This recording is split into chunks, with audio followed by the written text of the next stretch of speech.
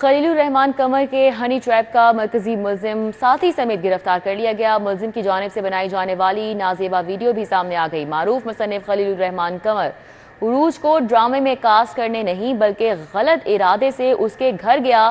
Police ذرائع کی جانب سے یہ بتایا گیا ہے۔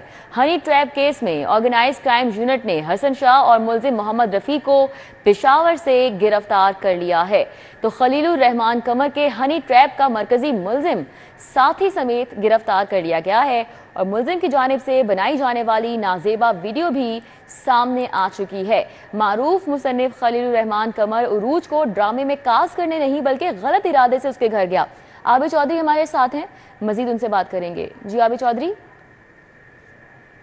بالکل، یہ پولیس ذرائع کے مطابق بتایا جا رہا ہے کہ مصنف خلیل الرحمان کمر کے ہنی ٹریپ کا مرکزی ملزم ساتھی سمیت گرفتار کر لیا گیا ہے۔ ملزم کی جانب سے بنائی جانے والی نظیبہ ویڈیو بھی سامنے آ گئی ہے اور پولیس ذرائع کے سہولت یہ بھی کہنا ہے کہ معروف مصنف خلیل الرحمان کمر اور روس کو ڈرامے میں کاس کرنے نہیں بلکہ غلط ارادے سے اس کے ساتھ گیا تھا اور خلیل الرحمان کمر کی جی، روز کے ساتھ پہلے صوفے پر بیٹھے ہوئے ویڈیو جو ہے وہ سامنے ہی ویڈیو میں یہ بھی دیکھا جا سکتا ہے کہ خلیل الرحمان جو ہے کچھ ہی دیر بعد برہنہ حالت میں دکھائی دے رہا ہے۔ پولیس رائے کے کہنا ہے کہ ہنی ٹریپ کیس میں آرگنائز کرائم بیورو نے حسن شاہ اور ملزم رفیع کو پشاور سے گرفتار کیا ہے۔ جن سے تحقیقات کی جا رہی ہیں اور دوران تحقیقات یہ سامنے آیا کہ ملزمان کی جانب سے دو روز پہلے ہی جو نازیبہ ویڈیو ہے اس کو لیک کر دیا گیا تھا۔ پولیس کا کہنا ہے کہ تمام ملزم اس واقعے کے گرفتار کر لیے گئے ہیں جن سے مزید تحقیقات کی جا رہی ہے۔